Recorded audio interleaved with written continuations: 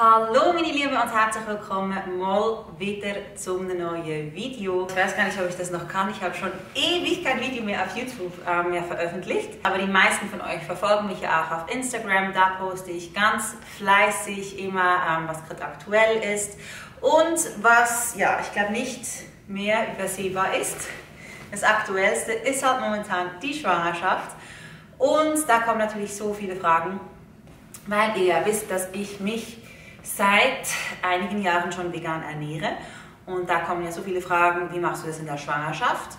Bleibst du jetzt vegan, auch wenn du schwanger bist? Und vor allem, was wird mit eurem Kind passieren? Muss das Kind sich vegan ernähren? Also wird, es, äh, wird dem Kind diese Mangelernährung aufgezwungen? das ist so die typische Frage.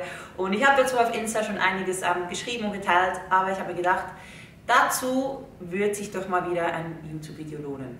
Denn zu diesem Thema herrscht äh, in der Tat noch sehr viel Unwissen, es kursieren so viele Mythen und dann ist es kein Wunder, dass ganz viele verunsichert sind, was die vegane Ernährung in der Schwangerschaft, in der Stillzeit oder eben auch im Kleinkinderalter betrifft. Bevor wir das Video jetzt offiziell starten, ups, genau, muss ich mich entschuldigen, meine Katzen hier. Ähm, ja, machen mal wieder, was sie wollen, so schnell. Aber ja, lasst euch von denen ähm, nicht ablenken.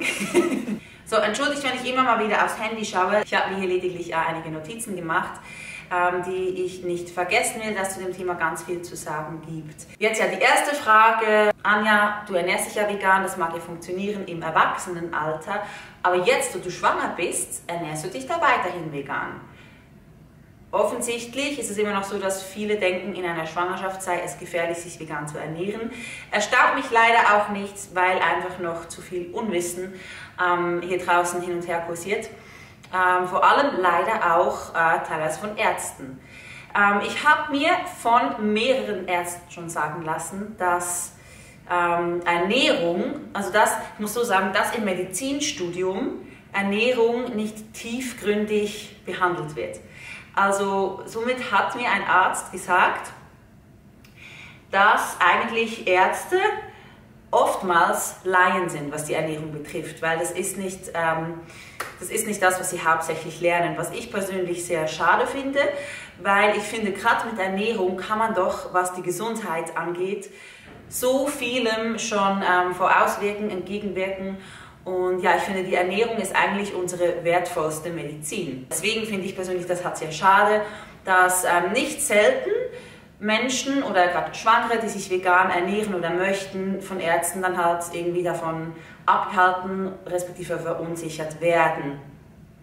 Genau, ich kenne mich sehr gut aus mit der veganen Ernährung, trotzdem aber habe ich mir gesagt, gerade in der Schwangerschaft will ich mir einfach auch einen Spezialisten zuziehen. Deswegen habe ich da ähm, zusätzliche Unterstützung im Rücken vom Dr. Med Renato Werdli, ein äh, Arzt aus Zürich, der selbst seit neun Jahren sich vegan ernährt und ähm, das natürlich auch seinen Patienten empfiehlt, respektive sehr offen ist dafür, mehr als offen ist dafür und euch auch gut betreuen kann, euch auch genau sagen kann, welche Blutwerte ihr immer im Auge haben sollt und ähm, der weiß einfach sehr, sehr, sehr viel darüber, falls jemand das interessiert, weil es ist doch auch schwierig, einen Arzt zu finden, der dafür offen ist. Ja, wieso sollte die vegane Ernährung im Erwachsenenalter funktionieren? jedoch in der Schwangerschaft aber nicht zu empfehlen sein. Diese Frage, oder ja, das sagen sehr oft Laien, Menschen, die sich generell noch nie mit Ernährung befasst haben. Und wenn ich dann äh, denen sage, ja, nenne mir einen einzigen Nährstoff, den ich ausschließlich aus tierischen Produkten beziehen kann, welche mir also fehlen würde bei einer veganen Ernährung in der Schwangerschaft, welcher wäre das? Und dann ist eigentlich relativ schnell Ruhe, respektive es kommen dann Argumente wie B12, Protein, Eisen oder Magnesium. Das sind so diese, die halt die Leute irgendwie das Gefühl haben, kann man pflanzlich nicht beziehen. Und dazu möchte ich heute in diesem Video einiges sagen. Bevor wir loslegen, möchte ich gleich mal zu meinen Blutwerten kommen, denn diese belegen ja, dass ähm, mein Baby und ich vollkommen gesund sind.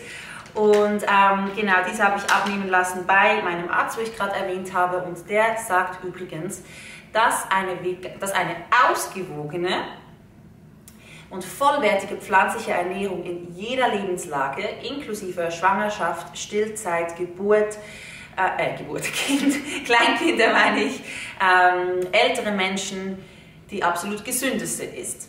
Man muss natürlich sagen, ähm, das ist ein Satz, den ich immer wieder gerne sage, Mischköstler ist nicht gleich gesund und vegan ist nicht gleich ungesund und umgekehrt. Es muss immer vollwertig und ausgewogen sein. Ähm, genau, aber wenn das beide Ernährungsformen sind, bringt eine rein pflanzliche Ernährung, also die vegane Ernährung, auf jeden Fall Vorteile mit sich. Aussage meines Arztes. So, zu meinen Blutwerten. Ihr seht die hier, ich blende die euch gleich ein. Zum Beispiel das Eisen. Sieht man, mein Wert ist 13,4. Das ist mehr als der Durchschnitt einer Mischköstler-Schwangeren.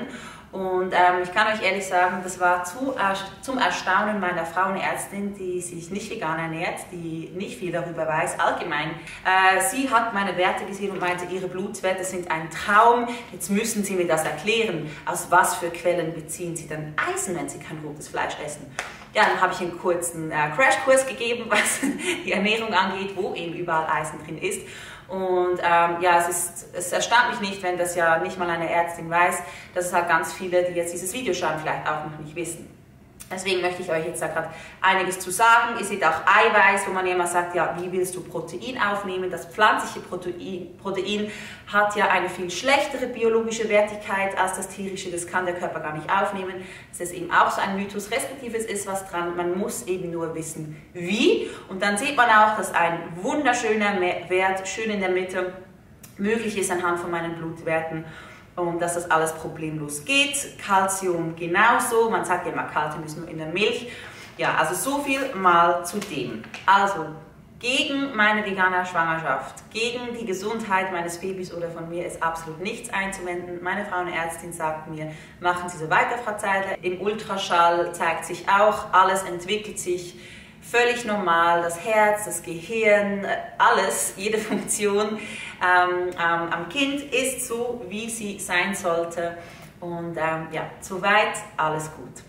Ich komme sehr gerne darauf, wie es dann nach der Schwangerschaft mit der Ernährung des Babys oder des Kindes dann weitergehen soll. Muss es sich vegan ernähren oder darf es Fleisch essen? Wie machen Milan und ich das mit unserer Tochter? Da komme ich gleich drauf. Vorher aber möchte ich gerne mit dem großen Mythos aufräumen. Pflanzliches Eiweiß kann der Körper nicht verwerten, respektive es fehle pflanzlichem Eiweiß an gewissen Aminosäuren. Ich zähle euch gleich einige äh, pflanzliche Eiweißquellen auf, damit ihr mal einen Überblick, Überblick bekommt, wo überhaupt überall pflanzliches Eiweiß drin ist. Auf jeden Fall ist es so, dass ähm, gewissen pflanzlichen Eiweißquellen durchaus äh, eine Aminosäure fehlt, die sich in tierischem Eiweiß finden würde. Und zwar ist das Methionin. Jetzt ist es aber so, dass wenn ich jetzt Fleisch esse, habe ich vielleicht direkt ein vollständiges Aminosäurenprofil.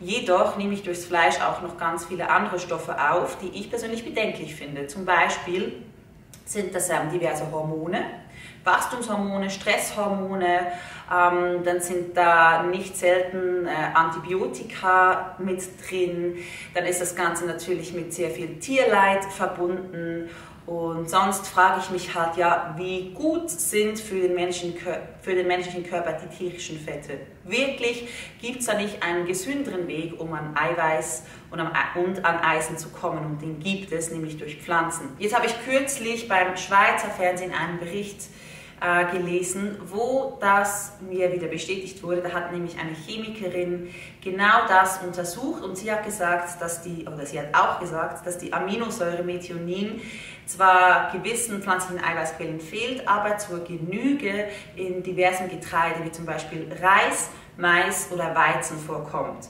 Jetzt kann ich also einfach Linsen zum Beispiel kombiniert mit Reis essen oder Bohnen und Reis. Rice and Beans ist doch etwas Gängiges, was viele von euch bereits kennen. Und ähm, somit habe ich ein vollständiges Aminosäurenprofil und kann Fleisch problemlos ersetzen. Jetzt denkt man sich vielleicht, ja, okay, muss ich das jetzt immer kombiniert essen und das ist ja die Einfachheit daran. Ähm, nein, musst du nicht. Du kannst also problemlos mittags irgendwas essen mit Linsen oder Kichererbsen oder Kidneybohnen oder ähm, Tofu, wenn du magst. Ähm, heißt ja immer, Veganer essen nur Tofu. Das stimmt nicht. Ich esse sehr selten Tofu. Ich zähle euch gleich diverse weitere pflanzliche Eiweißquellen auf. Aber kannst du natürlich auch essen, wenn du magst. Und dann kannst du abends irgendwas mit Reis oder Mais essen zum Beispiel. Und dann fehlt es dir an keiner Aminosäure und du kannst Fleisch problemlos ersetzen. So einfach ist es eigentlich. Jetzt habe ich hier eine Liste, das habe ich mal vorbereitet für eine Sendung, mit ganz vielen, wo ist es hier, Proteinquellen. Also wir haben zum Beispiel in, zum Vergleich in 100 Gramm Putenbrust, also in 100 Gramm äh, Poulet, auf Schweizerdeutsch sagen, haben wir ungefähr 22 Gramm Eiweiß und in derselben Menge, 100 Gramm Linsen, haben wir 24 Gramm Eiweiß. In Beluga-Linsen sogar 27 Gramm, Süßlupine hat sogar 43 Gramm, Vollkornpenne, also diese Vollkornteigware, haben 12 Gramm Eiweiß auf 100 Gramm, Hirse hat 11 Gramm, Buchweizen hat 9,8 und x beliebige viele mehr. Was ihr mit diesen einzelnen Sachen, wie zum Beispiel Hanfsamen, machen könnt, ähm, die gibt es äh, eigentlich schon überall zu kaufen. Ich habe welche, die kommen aus Österreich und ähm, die kann ich mir problemlos in meinen Smoothie mischen oder die kann ich mir so übers Müsli machen, ins Porridge mit einkochen und also ja, da habt ihr extrem viel Eiweiß drin und ähm, genau. Wenn ihr dann eben das mit der Kombination beachtet, ist auch die biologische Wertigkeit absolut kein Problem mehr. Dasselbe beim Eisen. Wie kann es sein, dass ich einen so fantastischen Eisenwert habe, ohne dass ich tierische Produkte esse? Hierzu erzähle ich euch ebenfalls gleich ein paar pflanzliche Eisenquellen auf und kann euch schon mal, ähm, bevor ich das tue, sage, sagen, wie man denn das Eisen am besten verwerten kann. Eisen kann der Körper am besten in Kombination mit Vitamin C aufnehmen.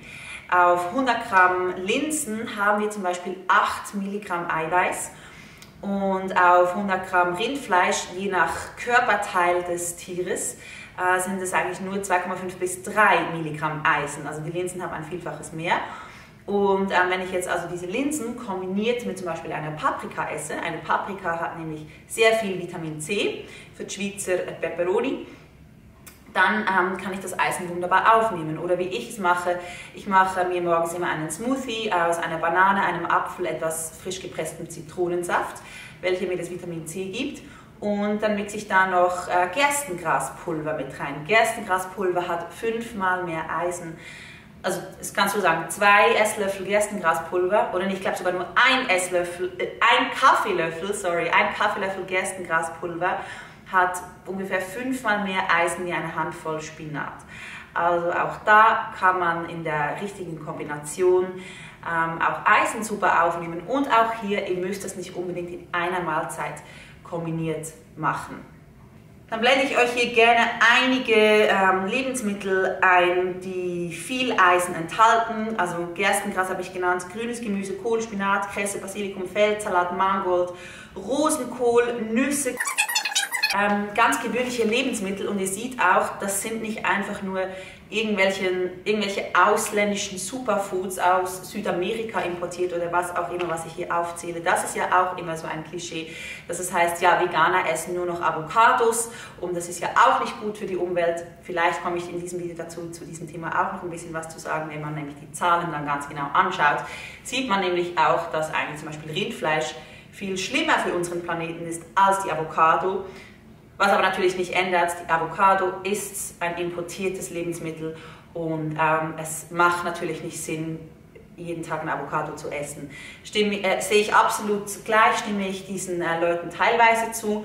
Nur möchte ich auch sagen, dass Superfoods und vegane Ernährung, das sind zwei Paar Schuhe. Die können sich an gewissen Stellen überschneiden, sie müssen aber nicht. Es gibt ganz viele saisonale und regionale Produkte, aus denen ihr eben diese kritischen Nährstoffen oder eben eigentlich gar nicht so kritischen Nährstoffen absolut problemlos beziehen könnt.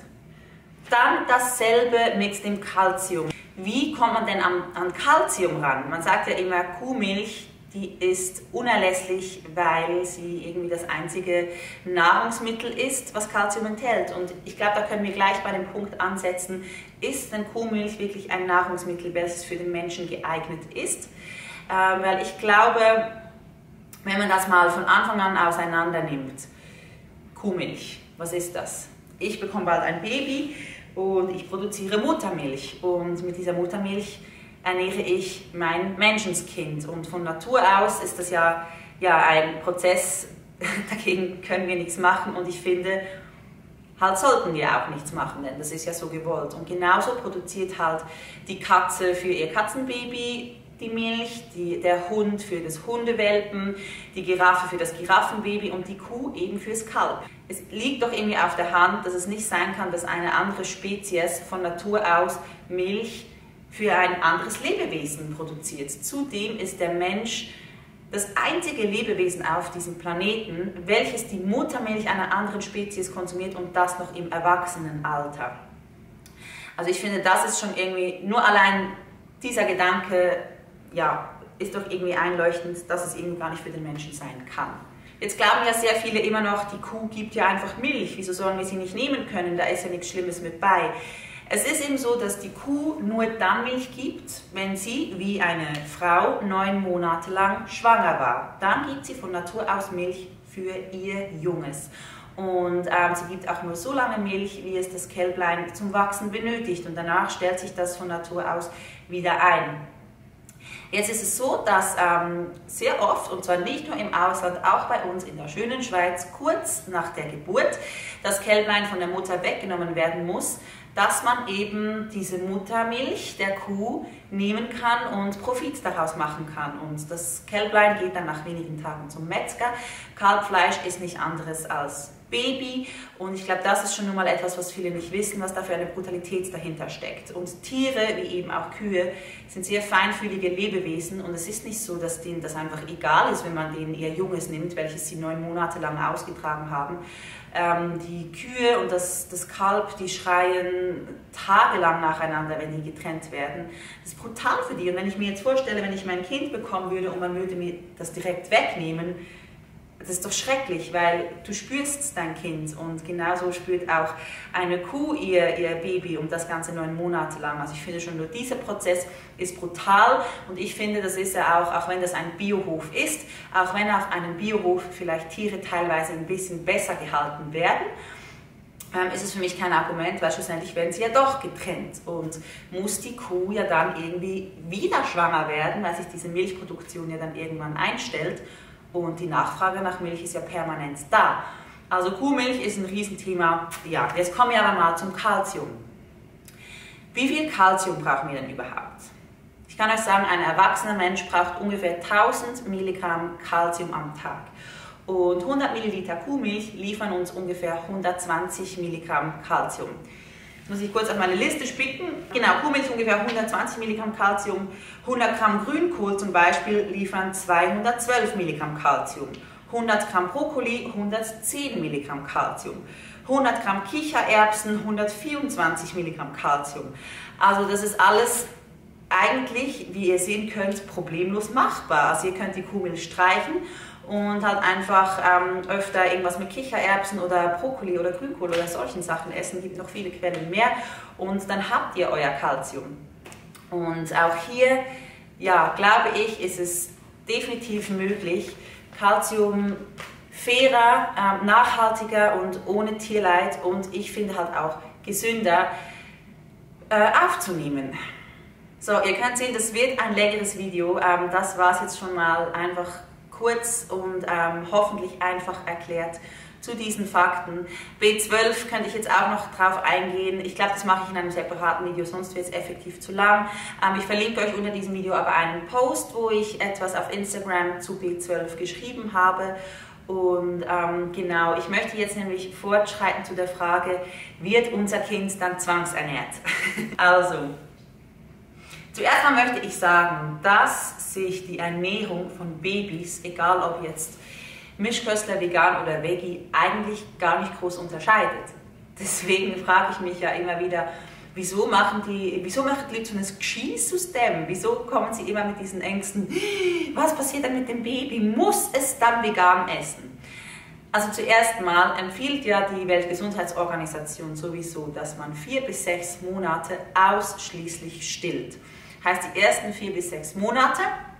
Ich wünsche mir bei mir, dass es ein bisschen ähm, länger geht, aber das hängt dann von mir und dem Kind ab, ob sie überhaupt an die Brust will, ob ich überhaupt genug Milch produziere. Ähm, meine Mama hat mir gesagt, ich habe nach acht Monaten Stillen habe ich den Kopf abgedreht und wollte nicht mehr.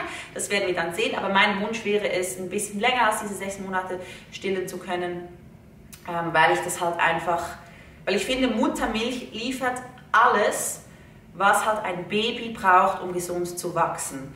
Und ähm, ja, also mit Muttermilch ist das Kind einfach gut ernährt. Genau, die ersten vier bis sechs Monate gilt für jedes Baby, egal ob Mischköstler, Veggie oder vegan, sowieso ausschließlich Muttermilch und dann gibt man Beikost. Und jetzt Beikost, das sind ja dann diese Babypreis. Woraus bestehen die? Das sind Früchte- und Gemüsepreis, also die sind eigentlich auch vegan. Und ähm, es beginnt halt dann wenn das Kind vielleicht, ich sage jetzt mal plus minus, das kann natürlich von Kind zu Kind variieren, ein Jahr alt ist, dann ja, wird es dann irgendwann vom Tisch mitessen wollen, es wird ähm, ja, probieren wollen. So, jetzt hat sich leider die Kamera kurz ausgeschalten. Genau, ähm, das Kind wird vom Tisch probieren wollen und dann wird sich natürlich die Frage stellen, ja, darf es denn das essen oder nicht? Und natürlich darf es das. Also wenn meine Tochter halt dann sagt, hey, was Papi da hat, will ich auch probieren, dann soll sie es probieren. Und auch später, wenn sie dann irgendwie auf Kindergeburtstage geht, dann soll sie nicht veganen Kuchen essen. Und dann soll sie auf Klassenfahrt haben, mal irgendwo ein Würstchen grillen oder irgendwas. Ähm, das Letzte, was ich machen will, ist weder meiner Tochter noch meinem Freund noch irgendjemandem von meinen Followern oder sonst wem die vegane Ernährung aufzwingen. Das soll doch jeder selbst entscheiden dürfen. Nur sind halt Kinder also die, die, können das halt noch nicht, vor allem anfangs. Deswegen, wie ich euch ja gerade gezeigt habe, es ist wunderbar möglich, sich vegan zu ernähren, dass eben auch eine Schwangere, eine Stillende oder ein Kind alles bekommt. Ihr habt meine Blutwette gesehen. Ähm, meine Ärzte, der vegane Arzt sowie auch die nicht vegane Ärztin, sagen beide, es ist nichts dagegen einzuwenden. Und man ist halt natürlich auch zum Beispiel in den USA oder in Kanada, da sind die Ernährungswissenschaftler einiges weiter als wir hier in der schönen kleinen Schweiz. Ähm, Kanada zum Beispiel hat ja die gesamte Ernährungspyramide umgestellt aufgrund von Wissen, was man heute einfach hat, was man früher nicht hatte. Ja, auf jeden Fall, äh, das jetzt nicht wieder abschweifen. Ich sehe keinen Grund, wieso es nicht möglich sein sollte. Und ähm, trotzdem, wenn sie sich anders ernähren möchte als ich später, wenn sie selbst entscheiden kann, dann ist das ihr gutes Recht. Sie wird irgendwann selbst darüber entscheiden und ich glaube, wenn sie zum Beispiel nach mir kommt, dann ist es sowieso, dass sie ihren eigenen Kopf hat und äh, ich glaube, jeder, der Kinder hat ähm, oder ja, eine Mama, die vielleicht schon einen Teenager hat, die mir hier zuschaut oder auch ein Papa, der weiß, dass man dann eh nicht mehr kontrollieren kann, was die Kinder machen. Von daher, sie wird eh machen, was sie will, sowieso, wenn sie nach ihrer Mama kommt. Natürlich glaube ich auch oder hoffe ich auch, dass wir alle uns weiterentwickeln und dass immer mehr Wissen und Fakten zum Thema vegane Ernährung in Umlauf kommen und dass es dann halt ja in einigen Jahren, wenn sie dann in dem Alter ist, ähm, ja, dass es dann schon nur in den Schulen und so mehr Kinder gibt, die sich ebenfalls vegan ernähren, dass es dann eben nicht mehr so eine Seltenheit ist und dass man dann eben allgemein einfach auch mehr weiß und sich nicht ständig rechtfertigen muss. Ähm, ich persönlich sehe das, was ich jetzt hier mache, überhaupt nicht als rechtfertigen.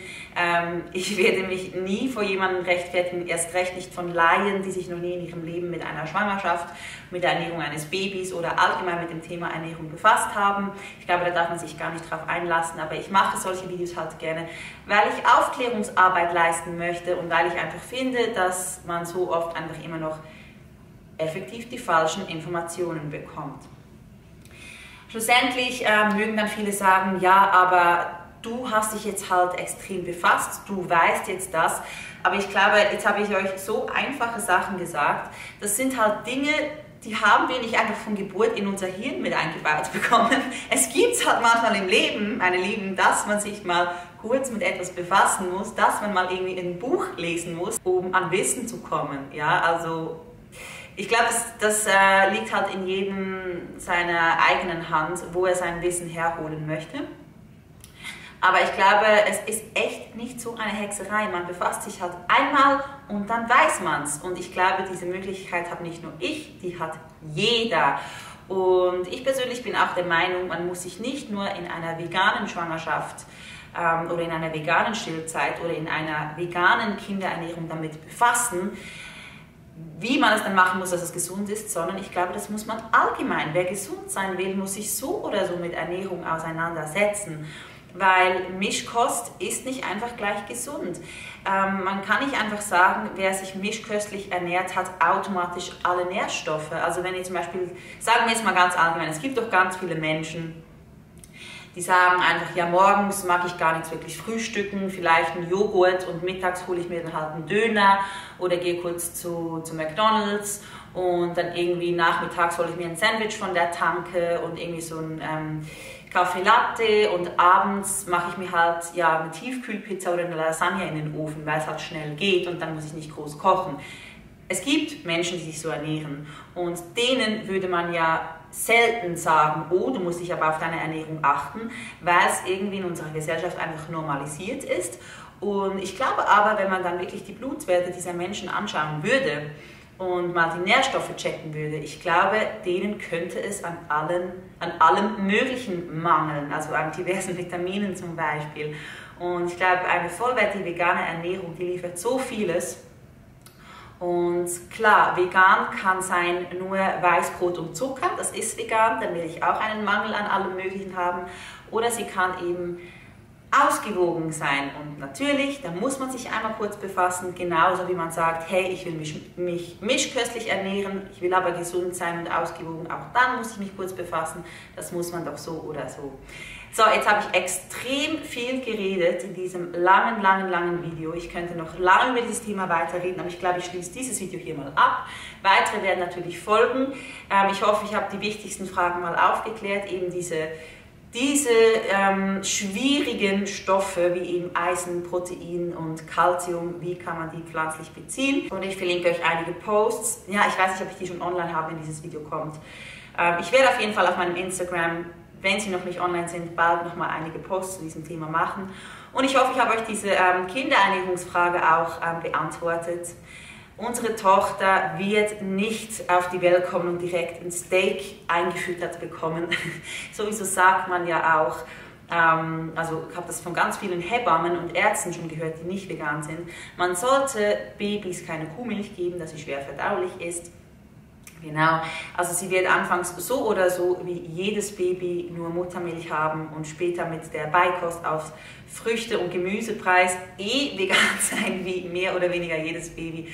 Und ähm, später, wenn es in meiner Verantwortung liegt, werde ich ihr kein Fleisch füttern, weil es aus meiner Sicht nicht möglich ist und ich es, wie so eben in diesem Video erklärt, sehr gut auf pflanzliche Weise machen kann, dass es ihr an keinen Nährstoffen fehlt.